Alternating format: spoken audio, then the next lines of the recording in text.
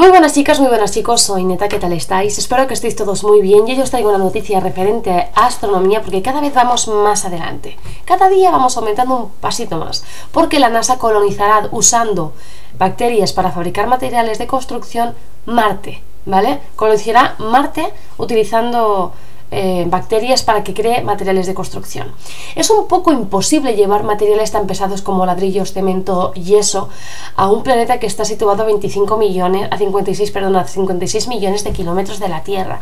Es un poco imposible porque los materiales son muy pesados y se necesitaría invertir muchísimo dinero, muchísimo para poder llevar un cohete con tantísima carga encima. Para solucionar esto, la NASA está trabajando en diseñar microbios para que fabriquen materiales de construcción. La iniciativa de la biología sintética de la NASA está trabajando en diversos microorganismos para que podamos usarlos para colonizar el planeta rojo. Para eso eh, están utilizando una caja de, de, herramientas biológica que consiste en un montón de genes llamados bioladrillos y que al ser insertados dentro de microbios, estos realizan alguna función en concreto, como por ejemplo crear un anticongelante. Un ejemplo muy claro. La atmósfera de Marte tiene un inconveniente y es que está cargada de CO2 y nitrógeno. Entonces eh, es bastante costoso que una bacteria, por ejemplo, que podemos tener nosotros dentro de nuestro organismo, pueda vivir en esas condiciones. Pero existe una vieja cianobacteria llamada anabaena que es capaz de vivir cómodamente en esas condiciones siempre y cuando se le aísle de lo que viene siendo de la radiación ultravioleta. Gran parte de la energía generada al procesar el CO2, el, dióxido de eh, perdón, el dióxido de carbono y el nitrógeno es consumida eh, por la bacteria, pero ya se ha encontrado un método insertando el material genético de la Escherichia coli, que ahora explicaré lo que es la Escherichia coli, eh, para que la anabaena excrete azúcares que podían sostener colonias de otras bacterias, las que por su parte se podrían usar para construir aceite, plástico o combustible para los astronautas.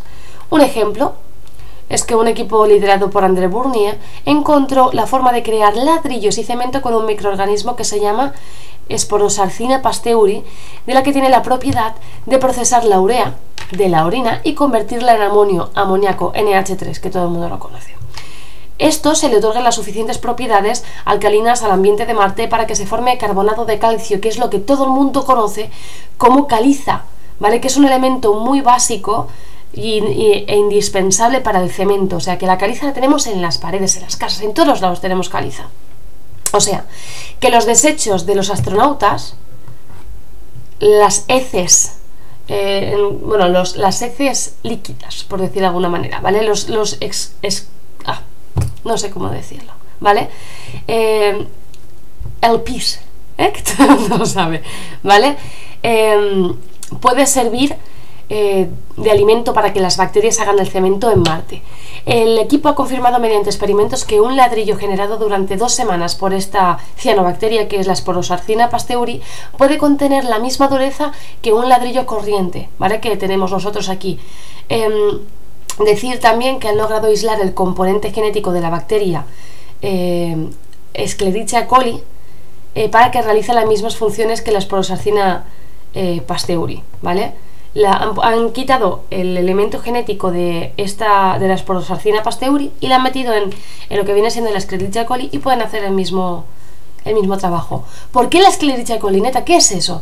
eso la Sclerichia coli, que todo el mundo la conoce como E. coli, es una bacteria que es una célula, es monocelular, no tienen, eh, es que casi no, es que no tiene nada, es una bacteria súper sencilla que habita básicamente en nuestro organismo, en concreto en los intestinos, y lo que hace es eh, alimentarse de cositas, ¿vale?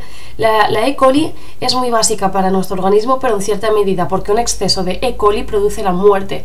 Como todo el mundo conoce, hace apenas un año la contaminación de los famosos pepinos españoles que fueron exportados a Alemania y tanta gente fue con, bueno, que todo el mundo dijo que era por culpa de los pepinos, que no era por los pepinos. Y que tanta gente eh, estuvo contagiada por la Escherichia coli. Eso sí, eh, ellos son prudentes al respecto a, contaminar Marte con microorganismos terrestres, por lo que cree que tardarán décadas antes de enviar las primeras colonias de bacterias usando de momento solo misiones de robots, ¿vale? De momento solamente está por ahí el Curiosity andando y merodeando por ahí, sacando fotos. y eh, de, de mientras que están haciendo eso y que van como tanteando el terreno con Curiosity, van haciendo las colonias de bacterias. Comentar que esto es un hallazgo muy importante, es un avance muy importante en la ciencia porque el perito lo estaba diciendo antes de broma, es que dentro de unos años nos vamos a poder ir a vivir a Marte o nos vamos a poder ir de viaje de novios a Marte. Pues chico, pues no es difícil. De hecho, el director del Circo del Sol ya se ha ido de viaje espacial con el millonaco que tiene de dinero, ¿vale? Entonces, no es difícil, no es eh, nada extrambótico, ahora mismo se puede hacer y con todos los mecanismos que tiene la NASA puede fabricarlo. Así que nada chicos, quiero que me comentéis aquí abajo en los comentarios qué opináis al respecto. Un besito a todos y nos vemos en el próximo vídeo. Chao.